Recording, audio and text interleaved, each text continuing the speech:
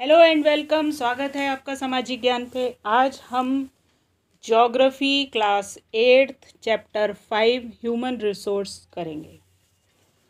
Human resource का मतलब क्या है? मानव संसाधन। ठीक है?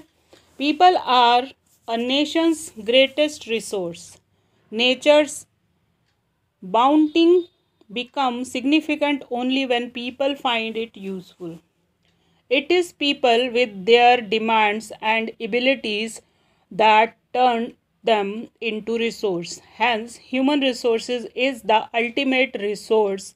Healthy, educated and motivated people development resources as per their requirement. Human resources like other resources are not equally distributed over the world. They differ in their educational level, age and sex their numbers and characteristics also keep changing.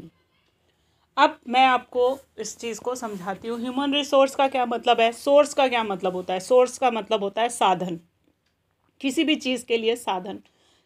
Example है, जैसे आप हैं, आप school जाते हो पढ़ने के लिए। तो क्या साधन लगते हैं? घर से स्कूल जाने के लिए आप कोई व्हीकल लेते होगे? पापा छोड़ कर आते होंगे स्कूटर से या बाइक से या साइकिल से। या आप पैदल जाते होगे, आप वहाँ तक जाने के लिए ई रिक्शा ले रहे हो आर टी वी ले रहे हो या बस ले रहे हो। ये क्या है? ये यातायात के साधन है। मतलब आपको मूवमेंट करने के लिए साधन है ये। ठीक है? और रिसोर्सेज सोर्सेज मतलब साधन। पढ़ने के लिए हमें साधन चाहिए। कॉपी पेन किताब टीचर टीचर को ब्लैक बोर्ड चौक इस तरह की चीज़ें चाहिए जिनसे वो कम्युनिकेट कर सके, आपको कोई कंसेप्ट समझा सके। राइट अब सोर्सेज हैं छोटे लेवल पे। और रिसोर्सेज है बड़े लेवल पे। जब हम सोर्सेज की बात करते हैं, आपकी पहली टीचर आपकी मदर है, उन्होंने बताया आ आई ई कैसे लिखते हैं, चौक कैसे पकड़ते हैं, शुरू में आपने आड़ी टेढ़ी लाइनें बनाई और उसके बाद वर्ड को पहचान कर उसको लिखना शुरू किया। ये आपकी प्रोग्रेस है। ठीक है? अब जब यही चीज़ बड़े लेवल पे होता है, एक घर में पढ़ाने वाली कौन है? मदर है। स्कूल में पढ़ाने वाले ही टीचर है। अब मदर से ज़्यादा टीचर बच्चों को हैंडल करती है। क्यों? क्योंकि उसकी क्लास में पचास बच्चे भी हो सकते हैं, साठ बच्चे भी हो सकते हैं, तीस भी, बीस भी। मगर एक मदर के पास कितने बच्चे होंगे? उसी की फैमिली के बच्चे होंगे। दो, चार, एक। तो यहाँ पे क्या है? जब छोटा है तो सोर्स है और जब बड़ा है, हम वास्ट स्केल पे, बड़े स्केल पे बात करते हैं तो वो रिसोर्स या संसाधन कहे जाते हैं। जैसे यहाँ पे क्या है? एजुकेशनल रिसोर्सेज हैं। तो उसमें क्या है? आपको ये बताया जाता है कि आपके एरिया में कितने स्कूल हैं, कितने प्राइमरी हैं, कितने सीनियर हैं, कितने को एजुकेशन है, कितने इंडिविजुअल हैं कि सिर्फ़ बॉयज़ के हैं या गर्ल्स के हैं। समझ आ रही है ये चीज़? तो अब यहाँ वो ये कहना चाह रहा है कि people are nation's greatest resource किसी भी देश में रहने वाले लोग उस देश का संसाधन होते हैं। कैसे होते हैं संसाधन? देखिए, एक सिंपल कंसेप्ट है डिमांड और सप्लाई की। डिमांड कौन करता है? इंसान डिमांड करता है सप्लाई कौन करता है? इंसान ही सप्लाई करते हैं। आपके घर में रहने वाले लोग, जो आपके फादर हैं मदर हैं ब्रदर हैं, कोई बड़ा और भाई बहन सिस्टर वगैरह होंगे, अगर वो इनकम जनरेट कर रहे हैं तो कोई ना कोई काम परफॉर्म कर रहे हैं, जिसके बदले उनको पैसा मिल रहा है। ठीक है?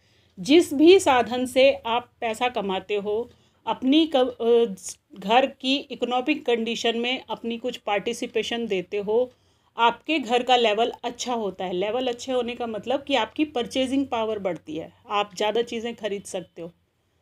ठीक है? और इसी तरह जब एक देश के बहुत सारे लोग काम करते हैं, किसके लिए काम करते हैं? For the progress of nation देश की बढ़ोतरी के लिए काम करते हैं।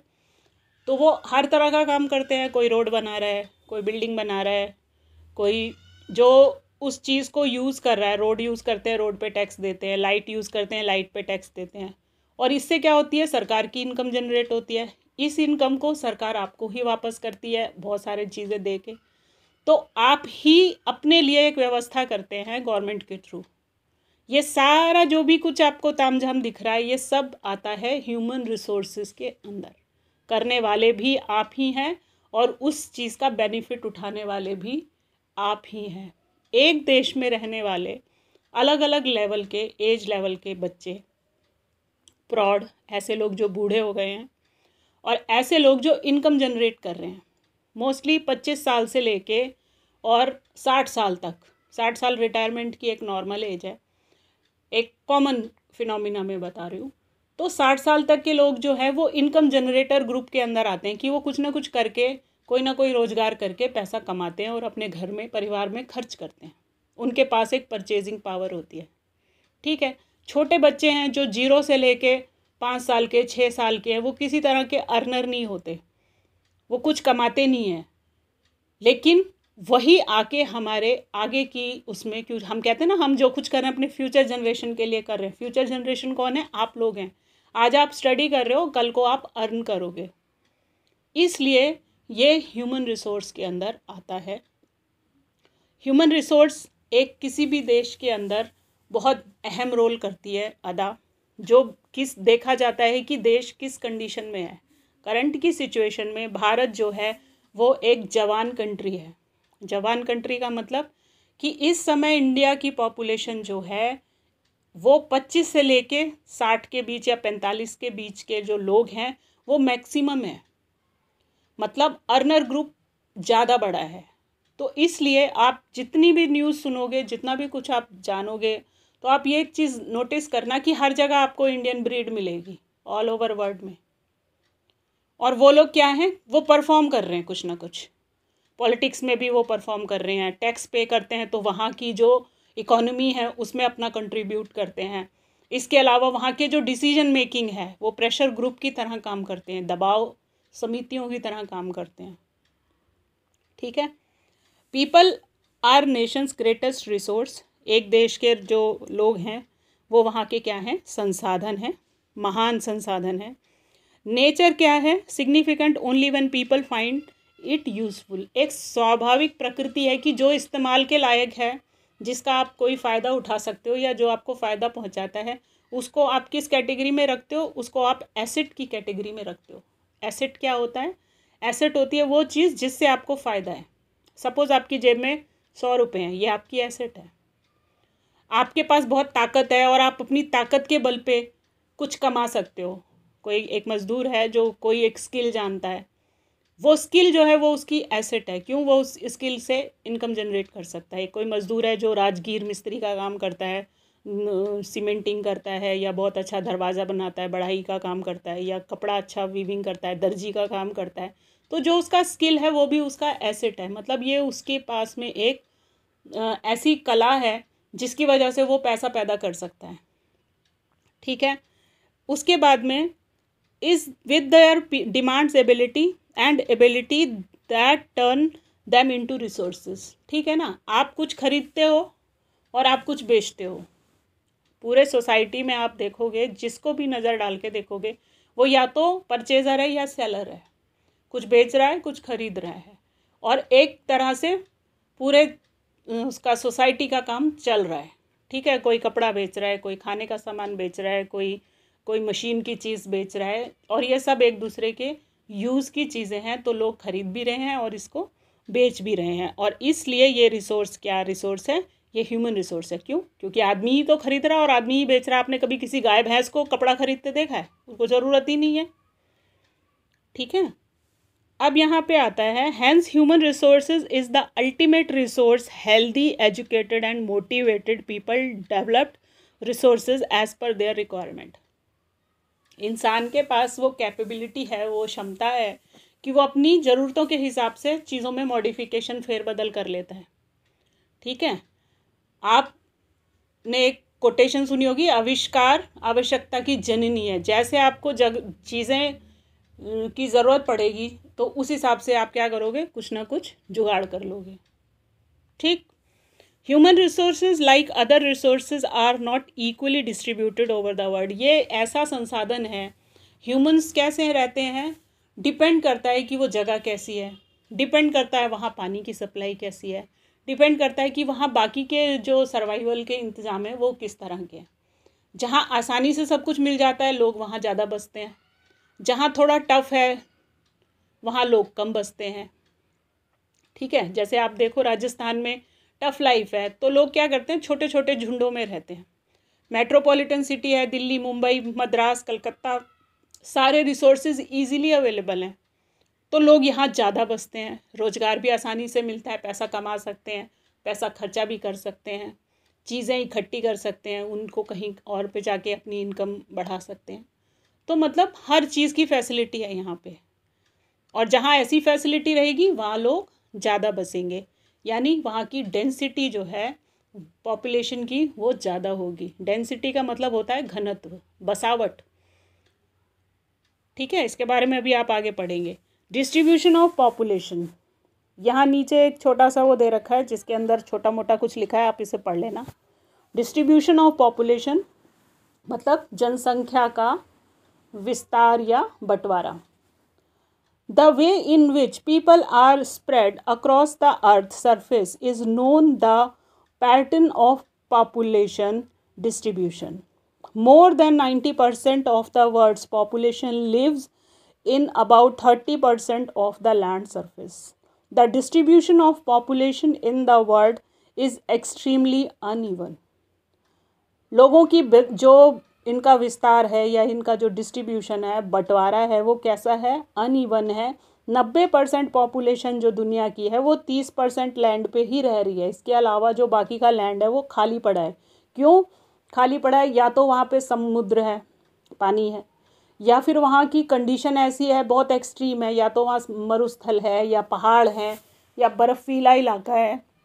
जहाँ जीवन यापन की सुविधाएँ नहीं है तो लोग वहाँ पे नहीं बसते हैं। और इसके अलावा एक कंडीशन और भी है कि जब कोई जगह है जहाँ पे वॉर जोन है, लड़ाई चल रही है तो लोग क्या करेंगे? वहाँ से भी छोड़ के कोई ऐसा इलाका है जहाँ हमेशा ही लड़ाई चलती रहती है। जैसे सीरिया, लेबनान वाला इलाका जो है, यहाँ पिछले कई सालों से मतलब मैं बचपन से सुन रही हूँ तो दैट ऑलमोस्ट तीस तीस चालीस साल हो गए हैं कि यहाँ पे रोज़ ही बवाल रहता है, झगड़ा चलता रहता है, लड़ाई झगड़े।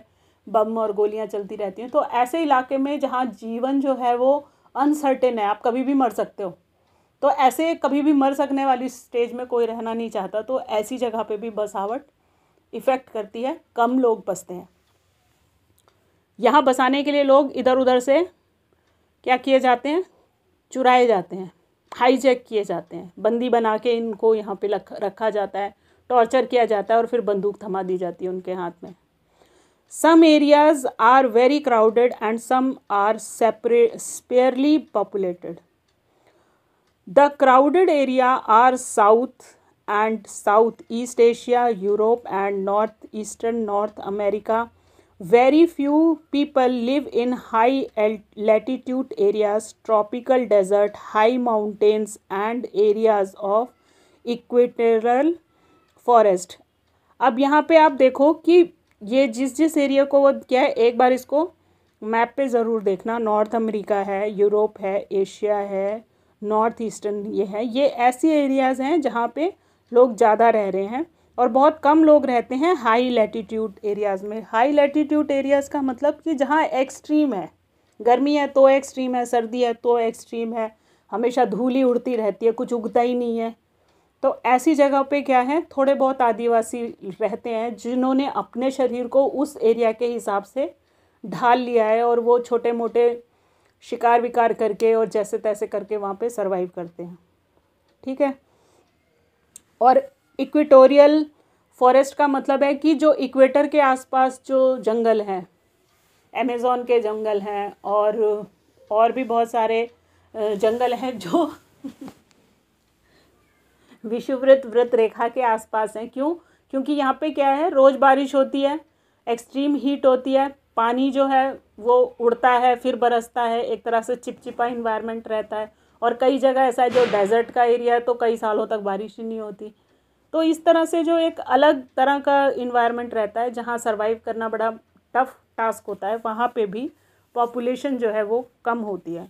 Many more people live north of the equator than south of the equator almost three quarters of the world's people live in two continent Asia and Africa सबसे ज़्यादा लोग कहाँ रह रहे हैं? एशिया और अफ्रीका में रह रहे हैं। Sixty percent of the world's population stay in just ten countries all of them have more than hundred million people ठीक है? सिक्सटी परसेंट यानी साठ परसेंट मतलब आधे से भी ज़्यादा जनसंख्या जो है, सिर्फ़ बीच के एरियाज़ में रह रही है, जो कि दस कंट्रीज़ के अंदर डिवाइड हैं। और यहाँ पे हंड्रेड मिलियन के आसपास लोग रहते हैं। ये एक नीचे आप चार्ट देख रहे हो। इस चार्ट में बता रखा है कि किसकी पॉपुलेशन मिलियंस में है। तो इसमें इंडिया का नंबर है सेकंड चाइना का नंबर है पहला, और यूएसए का है, फिर इसके बाद में सारे देश जो हैं, ये इन्हीं उसमें ज़्यादातर रहते हैं, ज़्यादा लोग इसी एरिया में रहते हैं। और ये सारा एरिया क्या है, या तो अफ्रीका में है या एशिया में डेंसिटी ऑफ़ पॉपुलेशन जैसे मैंने अभी पहले आपको बताया डेंसिटी का मतलब है घनत्व या बसावट। ठीक है? Population density in the number of people living in a unit area of the earth sir it is normally expressed as per square kilometre the average density of population in the whole world is fifty one person per square kilometre South Central Asia has the highest density of population followed by East and South East Asia जैसे मैंने आपको पहले बताया कि जहाँ का environment अच्छा होगा, बहुत सारी सुविधाएँ होंगी, पानी की, बिजली की हेल्थ की सुविधा एजुकेशन की सुविधा, लोग वहाँ ज़्यादा बसेंगे। और जहाँ का क्लाइमेट अच्छा नहीं होगा अनसर्टेन होगा तो ऐसी जगह पे लोग क्या करेंगे? कम बसेंगे या नहीं बसेंगे? ठीक है? तो यहाँ डेंसिटी निकालने का क्या है कि पर स्क्वायर किलोमीटर में जितने लोग रहते हैं, उन, उस आबादी को, उस एरिया की डेंसिटी माना जाता है। तो नॉर्मल अगर हम पूरे दुनिया की निकालें तो फिफ्टी वन परसेंट इक्यावन आदमी पर स्क्वायर किलोमीटर के अंदर रहता है। ये एक कॉमन वो निकलता है आंकड़ा हमारे पास में।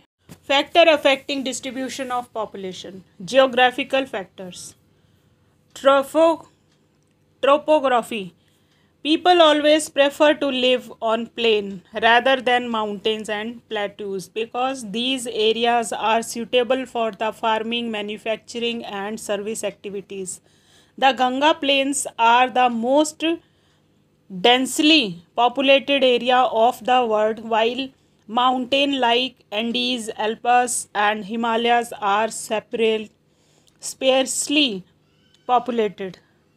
Climate अब देखिए ऐसे अफेक्ट करने वाले कारण ऐसे फैक्टर जिनकी वजह से डिस्ट्रीब्यूशन ऑफ़ पॉपुलेशन जो है वो अफेक्ट होती है इसका क्या मतलब है कि क्या कारण है कि कहीं बसावट ज़्यादा है और कहीं कम है तो उनमें सबसे पहला कारण जो है, वो है आपका ट्रो ट्रोपोग्राफी।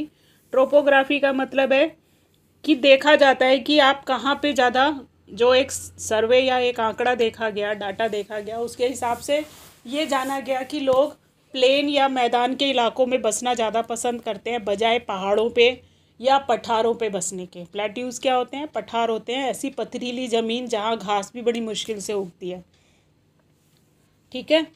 तो लोग क्या प्रेफर करते हैं? जैसे गंगा का प्लेन्स है। आपने जितना भी पुराना पढ़ा होगा सिक्स से लेके आप अभी तक हिस्ट्री में जो भी पढ़ते हुए आ रहे होंगे, आप देखोगे कि जो गंगा जमुना का दोआब है यूपी और इसकी जो बेल्ट है, ऊपर से उत्तर के उस मैदानों की, जो गंगेटिक रीजन है, जहाँ से गंगा बहती है आपका बंगाल की बे ऑफ़ बंगाल तक जाने के लिए। उसी एरिया के लिए ज़्यादातर फाइट हुई है। ज़्यादातर लोगों ने वहाँ पे कब्जा करने के लिए अपना खून बहाया है। क्यों? ये उपजाऊ एरिया है और इस एरिया में पैसे की पॉसिबिलिटी ज़्यादा यहाँ के लोग हमेशा रिच ही रहे। ठीक है? उनके पास में बेचने के लिए, ख़रीदने के लिए अनाज है। खेती करने के लिए जितनी भी कल्चर डेवलपमेंट हुए बेसिकली इस बेल्ट में ज़्यादा हुए हैं। तो यहाँ के लोगों को लूटा भी सबसे ज़्यादा गया है, मारा भी सबसे ज़्यादा गया है। उसका रीज़न यही है कि ये जगह कैसी है प्लेन है। यहाँ खेती बाड़ी भी अच्छी हो रही है, कार व्यापार भी अच्छा हो रहा है, इसलिए। यहाँ उसने उदाहरण दिए कि जैसे एंडीज पर्वतमाला है एल्प्स है हिमालयन पर्वतों की रेंज है, जो एक्सट्रीम ठंडे एरियाज़ हैं, वहाँ पे लोग क्या हैं, नहीं बसते, या इक्का दुक्का कोई दिखेगा आपको कहाँ बसेंगे? जहाँ पे मैदान का इलाका है। सेकंड रीज़न क्या है? क्लाइमेट यानी मौसम। People usually avoid extreme climates that are very hot और very cold like Sahara desert polar regions of Russia Canada and Antarctica ठीक है? जहाँ एक्सट्रीम कंडीशन है, शरीर को कष्ट हो रहा है जिस इलाके में, उस इलाके में लोग बसना पसंद नहीं करते। उसके बाद है सॉइल मिट्टी। Fertile soil provide suitable land for agriculture fertile plain such as Ganga and Brahmaputra in India Hwang He Chang Jiang in China and the Nile in Egypt are densely populated ठीक है, इन्हीं की पहले आपने पढ़ा ना, नदी घाटी सभ्यताएँ। नदियों के पास ही सभ्यताएँ बसी। क्यों? क्योंकि पानी जो है, वो एक एसेंशियल चीज़ है, हर उसके लिए। इंसान हो, जानवर हो पेड़ पौधे हो, जहाँ पानी रहेगा, उसके आसपास ही ये सबसे ज़्यादा फूल फलते फूलते हैं। तो इसलिए आप देखो, सिंधु घाटी सभ्यता सिंधु नदी किनारे है। इसी तरह से मिस्र की जो सभ्यता है, नील नदी के किनारे है मैसोपोटापियन सभ्यता है, ये सारी नदियों के किनारे की ही सभ्यताएँ हैं। ठीक है? Water people prefer to live in the area where fresh water is easily available the river valleys of the world are densely populated wild desert have spare population जैसे मैंने अभी बताया कि जहाँ पानी होगा, वहाँ पे सभ्यताएँ विकसित होती हैं। लोग वहाँ ज़्यादा रहते हैं। डेजर्ट के एरिया में कम पॉपुलेटेड लोग रह, कम पॉपुलेशन होती है। Minerals area with mineral deposit are more populated diamond mines of South Africa and discovery of oil in Middle East land lead to settled settling of people in these areas minerals हैं, कहीं खनिज मिल रहा है, तेल मिल रहा है, हीरे मोती मिल रहे हैं, लोहा मिल रहा है, कोयला मिल रहा है। तो अगर ऐसी जगहें हैं जहाँ पे खाने हैं तो वहाँ पे भी लोग ज़्यादा बसते हैं। क्यों? क्योंकि उनको रोज़गार मिलता है और जहाँ पे इस तरह का वो रहेगा तो बाकी की चीज़ें भी उनको वहाँ पे मिल जाती हैं। Social cultural and economic factor सामाजिक कल्चरल हुआ सांस्कृतिक और इकोनॉमिक फैक्टर यानी आर्थिक। देखिए, मैं बार बार लोगों को बोलती हूँ, मैं अपने हर चैप्टर में ये बोलती हूँ इकोनॉमिक का मतलब आप इकोनॉमी जो भी समझते हैं ना इकोनॉमी है अर्थव्यवस्था, अर्थ की व्यवस्था यानी पैसे से रिलेटेड व्यवस्था। इकोनॉमिक कंडीशन अगर देखी जाती है तो ऐसा नहीं है कि सिर्फ़ आप देश की ही इकोनॉमिक कंडीशन देखते हैं। आप किसी को देखते हैं सूटेड बूटेड इंसान को तो आपके माइंड में पहला इंप्रेशन ये जाता है कि अगर इसने कपड़ों पे इतना खर्चा किया है दैट मीन्स कि इसकी फाइनेंशियल कंडीशन अच्छी होगी। मीन्स इसकी इकोनॉमिक कंडीशन स्ट्रॉन्ग होगी। कोई आदमी है, बिल्कुल फटीचर है, पैसे नहीं है उसके पास में लेकिन फिर भी उसने उधार लेके या कुछ भी करके एक अपना इम्प्रेशन ऐसा बनाया है, बड़ा बढ़िया सा सूट पहना है, हाथ में बैग ले रखा है और वो एक किसी गाड़ी से उतरता है। ठीक है? तो एक देखने वाले पे क्या इम्प्रेशन पड़ेगा कि ये रईस आदमी है? उसके उलट कोई आदमी है जिसके पास बहुत ज़मीन है, लेकिन वो साधारण कपड़ों में बैठा हुआ है, कुर्ता पजामा पहना हुआ है और अभी रिक्शे से उतरा है। तो देखने वाला उसके लिए क्या अज्यूम करेगा, अंदाज़ा लगाएगा कि ये गरीब आदमी है, इसके पास पैसा नहीं था इसलिए इसने गाड़ी नहीं खरीदी। ठीक है? तो क्या है? हमारा जो किसी को जज करने का पहला नज़रिया है कि हम उसकी आउटर लुक को देखते हैं और उसके इकोनॉमिक स्टेटस को जज करने के लिए, यानी इकोनॉमिक स्टेटस का मतलब पैसे देखने के लिए कि ये कितना रईस या कितना कंगला है, उसके कपड़ों को, उसकी गाड़ी को, उसके हाव भाव को हम एनालाइज करते हैं। ठीक है? तो इकोनॉमिक कंडीशन का मतलब पैसे की कंडीशन अर्थव्यवस्था, अर्थ का मतलब है पैसा, ठीक है? Social areas of better housing education and health facilities are more densely populated that is Pune अब यहाँ पे क्या है? जो सोशल एरिया हैं, जहाँ पे अच्छे हाउसेस बने हैं, अच्छे घरों की व्यवस्था है, अच्छी एजुकेशन की व्यवस्था है, अच्छे हॉस्पिटल हैं ठीक है? तो वहाँ पे क्या होंगे? लोग ज़्यादा रहेंगे। इसका एक उदाहरण इन्होंने पुणे दे दिया। इसका एक उदाहरण दिल्ली भी है, मुंबई भी है, ठीक है? ऐसे ऐसे बहुत सारे एरियाज़ हैं जहाँ पे अच्छी एजुकेशन है हेल्थ की भी अच्छे हॉस्पिटल हैं बड़े बड़े तो लोग वहाँ पे बसना प्रेफर करते हैं। कल्चरल प्लेसेस विद रिलीजन और cultural significance attract people Varanasi Jerusalem and Vatican City are some examples cultural का मतलब आप किसी कल्चर को फॉलो करते हैं। सपोज़ आप हिंदुज़म को फॉलो करते हैं। ठीक है? तो हमारे हिंदुज़म में क्या है कि हर दूसरे महीने में, हर महीने में कोई ना कोई तीज त्यौहार होता है और कुछ बड़े त्यौहार होते हैं।